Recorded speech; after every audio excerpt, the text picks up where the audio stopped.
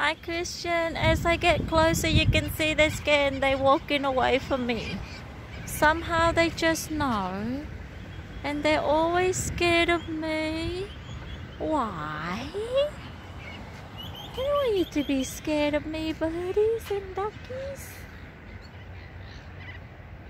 So sad that you're scared of me. And there's a train at the back.